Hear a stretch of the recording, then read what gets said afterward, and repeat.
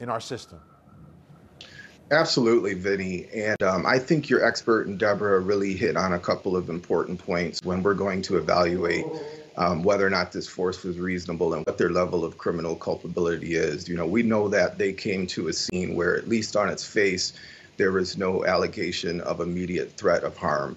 Um, that's not dispositive in itself because we know we've seen situations where officers uh, come to a scene that otherwise was benign and ended up escalating. But when you couple that with the comments made by your expert, which I think are incredibly important, and that is that Officer Chauvin had his hand in his pocket during the course of this entire incident. You know, by definition, if you have to use force, you have to use both of your hands.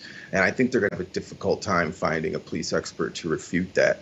I also think there's another important fact that hasn't been discussed, at least from what I could tell, and that is, you know, we have a young man who is begging for his life, indicating he thinks he's going to die, and he becomes unresponsive for four minutes.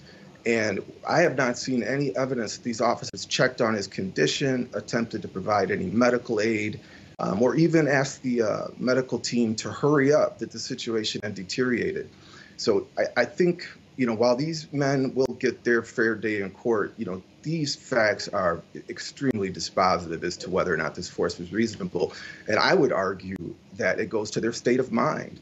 Uh, in most states, we evaluate a homicide charge based on many factors, but oftentimes we look at whether or not someone's behavior was reckless. You know, was there a disregard for human life um, that would lead one to be charged? And I think that all of these officers, with all due respect to Deborah, um, are guilty of some form of homicide. These men were trained.